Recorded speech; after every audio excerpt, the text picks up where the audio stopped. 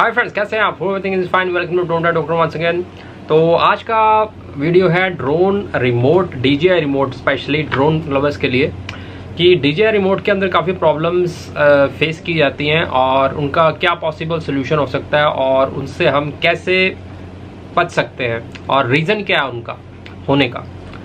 तो पूरा video and तक ज़रूर देखें। आपके ज़रूर यूजफुल होगा। अगर आप डीजे का ड्रोन या कोई भी ड्रोन यूज़ करते हैं, उसमें एप्लीकेबल होता है, जिसमें आप मोबाइल डिवाइस लगाते हैं ताकि आप देख सकें उसकी स्क्रीन को कहाँ पर ड्रोन जा रहा है। तो मोस्टली डीजे ड्रोन हैं तो अगर आपके पास डीजे ड्रोन है या लेने वाले हैं तो ये वीडियो आपके लिए बहुत इंपॉर्टेंट है।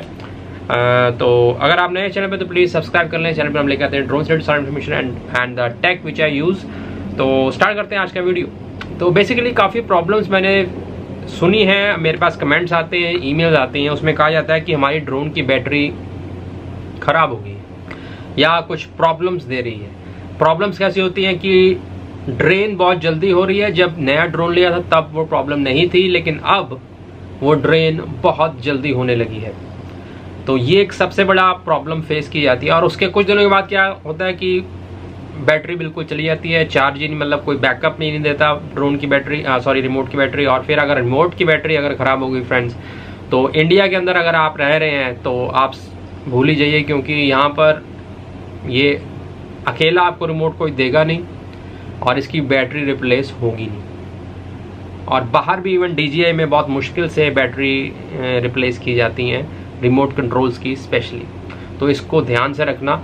बहुत ही ज़रूरी है, क्योंकि अगर आपका रिमोट ही नहीं चलेगा तो क्या ड्रोन उड़ाएँगे आप? इसके बिना आपका रिमोट ज़ीरो है तो इसको मेंटेन करना है। अब प्रॉब्लम्स कैसे आती हैं? सबसे बड़ी प्रॉब्लम है कि पहले जब हमने ड्रोन लिया था, बहुत अच्छा बैकअप था, बहुत अच्छे से चलता था, लेकिन अब ये ड्रेन बहुत जल्दी होता है। इसका कारण क्या है? इसका कारण मैं आपको बताऊँगा दो तरह से।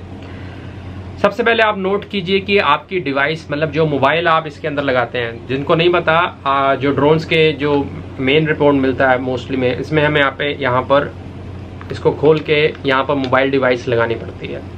तो जैसे ही मोबाइल डिवाइस यहाँ लगती है, और फिर वो सारा विजन जो ड्रोन हमें होता है, वो हम इसमें देख पाते हैं, उसको से हमने कनेक्ट करना होता है। तो अब बात आते हैं मोबाइल डिवाइस मतलब मोबाइल फ़ोन कौन सा है आपका, जिसमें डी की ऐप है? अब एक होता है हमारे पास, जैसे एप्पल फ़ोन है मेरे पास, मैं यूजली यही यूज़ करता हूँ। अब इस केस में अगर आपके पास एप्पल और एंड्रॉयड दोनों हैं तो मैं आपको रिकमेंड करूँगा कि ऑलवेज रिमोट के अंदर जो आप यूटिलाइज करें तो आप एप्पल वाला फ़ोन यूज़ करें। इसका कारण है टेक्निकल रीज़न है, वो है ये कि आईओएस डिवाइस के ऊपर हमारे पास ये ऑप्शन होती है, जब हम इसको साथ कनेक्ट करते हैं थ्रू यूएसबी तब एक ऑप्शन आती है, सिर्फ़ आईओएस में, यानी एप्पल के जो आईफोन है, उसमें ऑप्शन आती है कि आपको ये साथ के साथ चार्ज करवाना है या नहीं। तो वहाँ पर आपने क्या करना है? नो कि हमने अपना आईफोन इसके साथ, इसकी बैटरी से चार्ज नहीं करवाना जस्ट हमने कनेक्शन बनाना है। और इसकी वजह से आपका रिमोट की बैटरी का लाइफ टाइम बढ़ जाता है। काफ़ी गुना। तो ये ऑप्शन हमें एप्पल में मिलती है।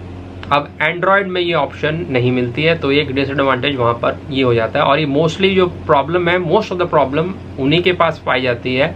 अब मैं कारण बताऊँगा क्यों। अगर आप एक एंड्रॉयड डिवाइस यूज़ करते हैं तो वो क्या होता है, जैसे ही आप उसमें प्लग करेंगे, वो कनेक्शन तो बनाएगा, लेकिन साथ के साथ चार्ज होना शुरू हो जाता है। और जब चार्ज होगा, वो इधर की बैटरी पिएगा। ठीक है? तो इस तरह से अगर आप उड़ाते रहे ड्रोन तो आपकी इसकी लाइफ बहुत जल्दी खत्म हो जाएगी। तो ये सबसे बड़ा कारण है। अब बचें कैसे?